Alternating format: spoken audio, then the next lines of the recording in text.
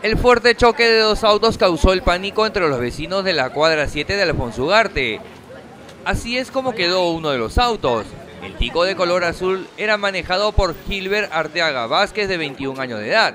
Este conductor se encontraba en aparente estado de ebriedad. Según cuentan los vecinos, este joven se encontraba acompañado de una señorita que se dio a la fuga. Ambos se encontraban al interior del vehículo y salían del local Café Bar Séptima, y aparentemente por el exceso de velocidad chocaron con otro carro que estaba estacionado, dando varias vueltas de campana. Así es como quedó el auto azul, volteado y con serios daños en su carrocería. Sí, en estado, ebriedad. ¿Cuántos eran? ¿Cuántos eran los que estaban? Tres, una mujer y dos, dos. Uno iba eh, conduciendo y el otro iba, iba de acompañante. ¿Te dijeron algo?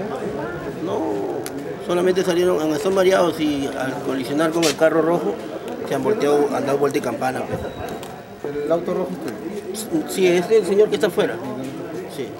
¿Y ellos, este, qué, cómo fue? ¿Estaban en contra? ¿Se metieron? No, no, no, han salido de, de- de la discoteca de Abrista. Gilbert Arteaga fue conducido hasta la comisaría César Yatas. Los daños en el auto estacionado son mínimos.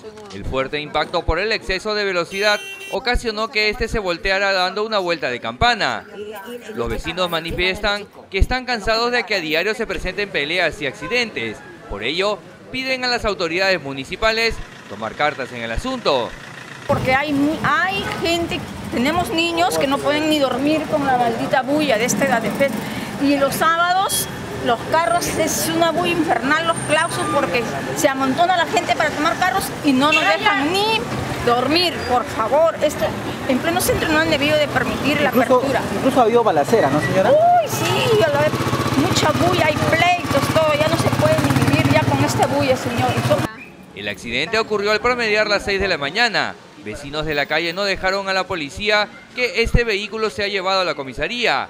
Ellos piden la presencia del Ministerio Público para que levante un acta de lo que sucede a diario con esa discoteca.